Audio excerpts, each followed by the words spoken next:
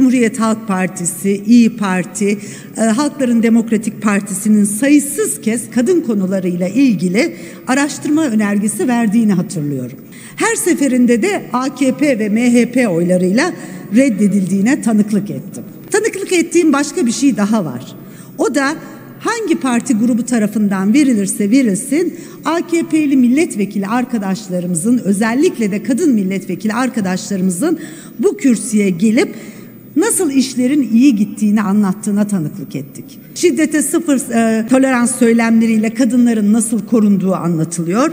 Sanki bu ülkede kadınlar hiç öldürülmüyormuş, hiç şiddet görmüyormuş gibi konuşmalar yapılıyor bu kürsüden. Sonuç kabul edenler, etmeyenler kabul edilmemiştir ve yeni bir gündem maddesine geçiyoruz ne yazık ki. Kadın meselesi her şeyden önce bir insan meselesidir. Ülkemizin milli ve manevi değerleriyle asla bağdaşmayan kadına yönelik şiddet Sayın Cumhurbaşkanımızın ifadesiyle insanlığa karşı suç olarak görülmekte ve şiddete karşı sıfır tolerans ilkesiyle şiddete sıfır e, tolerans söylemleriyle kadınların nasıl korunduğu anlatılıyor ve şiddete karşı sıfır tolerans ilkesiyle mücadele edilmektedir. Özellikle CHP'nin kadın milletvekillerine sesleniyorum.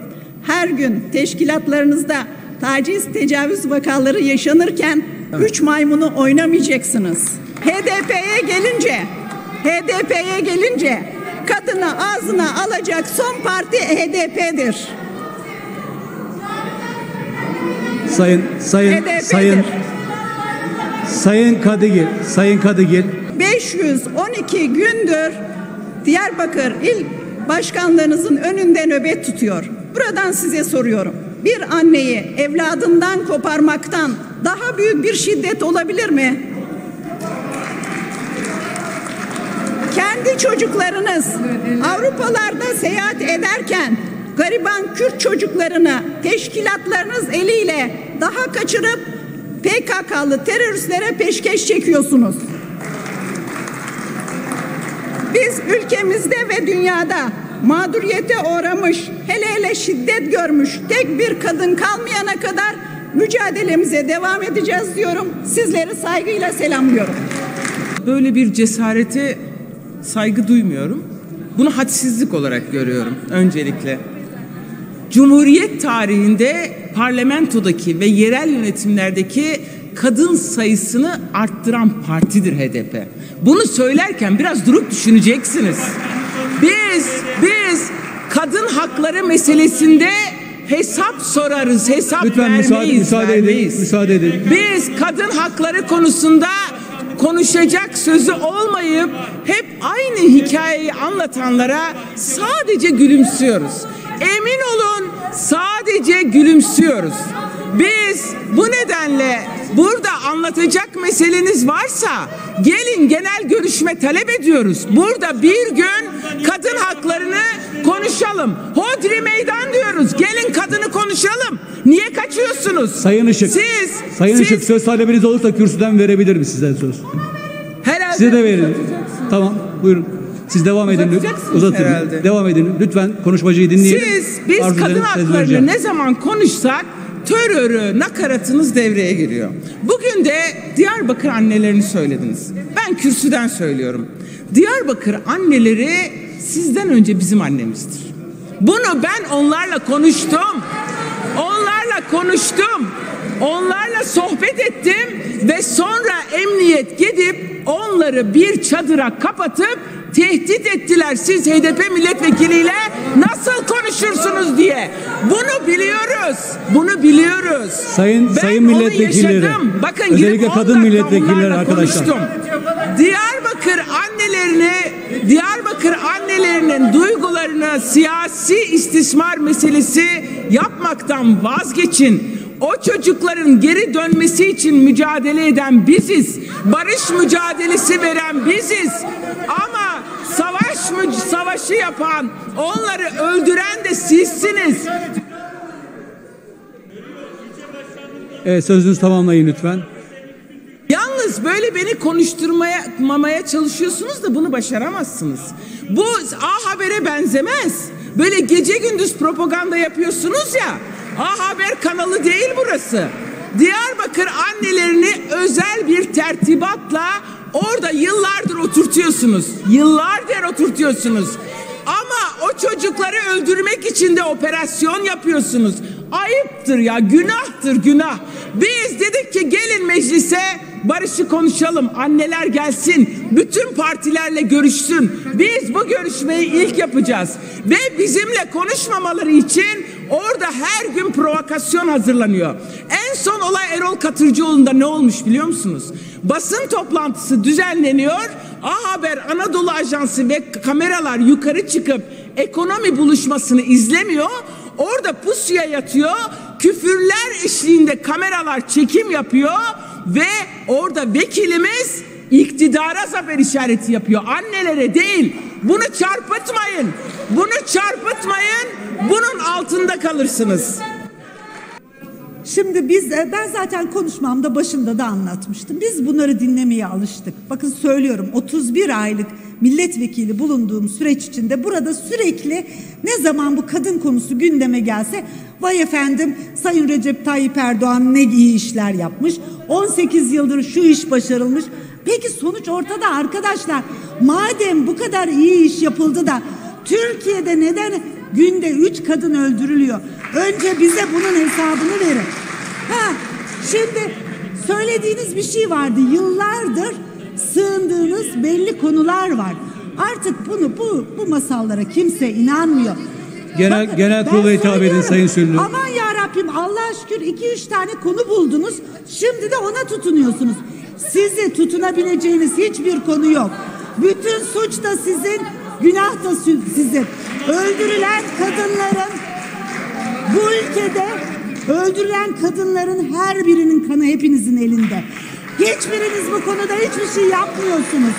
Bu konu terörle iki üç kişinin bakın ha, sizde de var. Bakın olay arkadaşlar olay senin tecavüzcüm benim tecavüzcüm olayına girerse buraya çok pislikler dökülür. Bakın tekrar söylüyorum çok pislikler ortaya dökülür. Olan birkaç münferit olayla biz onları savunmayız. Siz bize o olayların hesabını sormadan önce Ensar Vakfı'nda bir kereden bir şey olmaz diyen bakanınıza hesap sorun. Tamam mı? Önce ona sorun hesabını. Hiç, hiç bakın zerre kadar umurumuzda değil söyledikleriniz. Hiç bütün toplum görüyor. Çok rahat olun siz. Size kadınlar verecek esas dersi. Sandıkta kadınlar verecek o dersi. Gençler verecek. Öldürülen kadınların aileleri verecek o. Hiç valla ne söylerseniz söyleyin. Hiç umurumuzda değil. Bakın şunu da söyleyeyim. Teşekkür ederiz Sayın Süllü. Selamlayalım lütfen. Buradan çıkıp konuşan arkadaşımız AKP milletvekili kadın arkadaşımız kadın erkek fırsat eşitliği komisyon üyesi ve 6 aydır bu komisyonu toplamadı. Başkanı pardon başkanı ben de başkan vekiliyim. Çağrıda bulunuyoruz. Bugün dilekçeyi de göndereceğiz. Toplayın. Madem öyle çıkıp beyanatlar veriyordunuz. Biz hepsini izledik. Yok şurada şu tacize uğramış. Burada bu tacize uğramış. Bize başvurdular diye yandaş kanallarda verdiniz. Ama ne yazık ki bütün AKP milletvekili arkadaşlar da bilsin bu konularda gerçekten duyarlı olan İstanbul Sözleşmesi'nin arkasında dimdik duran sevgili Canan Kalsın'ı aldığınız görevden Fatma Aksal'ı getirdiniz göreve. Neden? Korkuyorsunuz. İstanbul Sözleşmesi'nden korkuyorsunuz. 6284'ten korkuyorsunuz. Erkeklerin egemenliğinin bu ülkede yıkılmasından korkuyorsunuz. Korkmayın. teşekkür ederiz. Korkmayın. Bizim iktidarımızda biz bunların hepsini çözeceğiz. Her şeyin çözümü bizde. Siz gidiyorsunuz, gidicisiniz. Diyarbakır annelerini bir tertibat ve tehditle orada tutuyorsunuz gibi bize bir suçlamada bulunmuştur. Sayın Başkan buradan bir söz talebimiz var 69'a göre. Buyurun kürsüden Sayın. Lütfen yeni bir sataşmaya mal vermeden bu işi sonlandıralım. Sayın Başkan, değerli milletvekilleri, bu araştırma önergesiyle ilgili milletvekilimiz gerekli açıklamayı yapmıştır. değerli arkadaşlar, fikirler beğenilir beğenilmez. Biz kendi politikalarımızı tabii ki kürsüden anlatacağız. Ne anlatacağız? Yaptıklarımızı anlatacağız. 18 yıl boyunca biz yaptıklarımızı anlattınız. Siz başka şeyler anlattınız. Netice değişmedi. Dolayısıyla iktidar olan yaptığı iyi şeyleri anlatacaktır. Şimdi aynı hikayeleri söylüyorsunuz diyorken aynı şeyleri söylerseniz aynı şeyleri duyarsınız, aynı şeyleri dinlersiniz. Bakın biz hiç kimseyi ne tehditle ne şantajla Diyarbakır'da tutmuyoruz. Dikkat edin o anneler bizim bizim il başkanlığımızın önünde değil. Bizim il başkanlığımızın önünde değil. İyi Parti'nin il başkanlığı önünde değil. Dikkat edin. Türkiye'de 80'den fazla siyasi parti var. Onların değil. Sizin il başkanlığınızın önünde duruyorsa ve çocukların nasıl götürüldüğünü düşünüyorsa bu bu bu bakın arkadaşlar bunun altında kalırsınız. Dolayısıyla bunun cevabını bunun cevabını kamuoyuna vermek sizin göreviniz. Dolayısıyla o gencecik kızların o gencecik kızların nasıl da kaçırıldığını ve oradaki eli kanlı teröristlere peşkeş çekildiğini emniyetin raporlarında üzülerek okumaktayız. Buna buna bakın itiraz etmeniz gerekirken bu işi sulandırmanın manası yok. O anneler kazanacak. Onlar onların karşısında duranlar kaybedecek.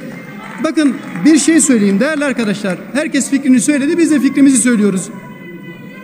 Bir bakın burada Ensar ha Ensar arkadaşlar bağırmayın. Gerçeklerin bakın değerli arkadaşlar gerçeklerin acıttığını ve bağırttığını biliyorum. Bunlar sizi bağırtabilir. Kusura Sayın bakmayın. milletvekilleri lütfen. Burada bakın e, az önceki hatip yine bizim sıralarımıza dönerek işte bir şey- bir seferden bir şey olmaz Ensar Vakfı hadisesi. Bakın en ağır cezayı aldım oradaki sanık aldı tutuklandı.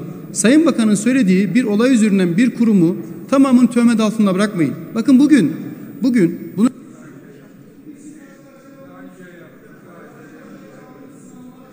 Tamamlayalım lütfen. karşı karşıya kaldığınız sınanmalar var. Bakın sınanmalar var. Şimdi o zaman bütün Cumhuriyet Halk Partisi camiasını aynı kefeye mi koyacağız? Değil. O zaman peki bir olay üzerinden bakan bir hadise olmuş. Bu üzerinden bir camiayı töhmet altında bırakmamak lazım sözünü. Yani yıllarca burada çarpıttınız. Bu doğru değil arkadaşlar. O zaman bakın bugün karşı karşıya kaldığınız sınanmaların altında kalırsınız. İstanbul Sözleşmesi'ni imzalayan hükümet AK Parti hükümetidir arkadaşlar. AK Parti hükümetidir. Dolayısıyla Türkiye'nin ihtiyaçlarına göre Türkiye'nin 6284'ü 6284'ü de yapan AK Parti hükümetidir. Bu cezaları sertleştiren hükümet AK Parti hükümetidir. Çocuklara yönelik müdahalelerdeki caydırıcılığı arttıran AK Parti hükümetidir. Toplum dinamiktir. Toplum gelişir.